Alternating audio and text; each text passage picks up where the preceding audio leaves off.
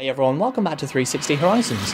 Due to a lot of your requests, I have reversed the end rocket launch event in 360. So without further ado, I hope you enjoy the video.